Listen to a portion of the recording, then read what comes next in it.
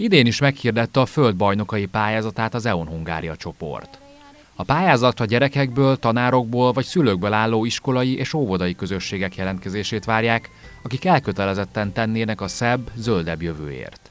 A legjobb programok megvalósulását összesen 25 millió forinttal támogatja az energiavállalat pályázhatnak gyerekekből, tanárokból, vagy akár szülőkből álló iskolai és óvodai közösségek is.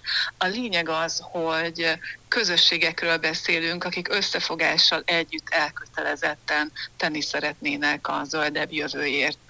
Egy-egy intézmény legfeljebb két és fél millió forint támogatásra tud pályázni, 25 millió forintos a támogatási keret, és egészen április 5-ig be tudják adni a pályázatokat a lelkes közösségek.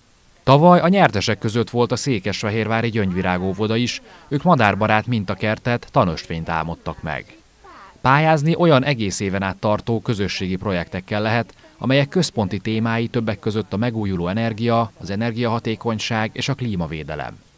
A pályázatok leadási határideje április 5-e ebben a programban, amellett, hogy nagyon izgalmas, új, zöld programokat szeretne támogatni az EON, az is nagyon fontos, hogy meg is mutassuk ezeket a programokat, hogy azok, akik hasonló programok megvalósításában gondolkodnak, inspirációt, ötletet meríthessenek. A zsűrit Guntrán Würzberg, az EON Hungária csoport elnökvezérigazgatója, és Ürge Forsác Diana klímakutató mellett a fenntarthatósághoz kapcsolódó szakemberek és közéleti szereplők alkotják.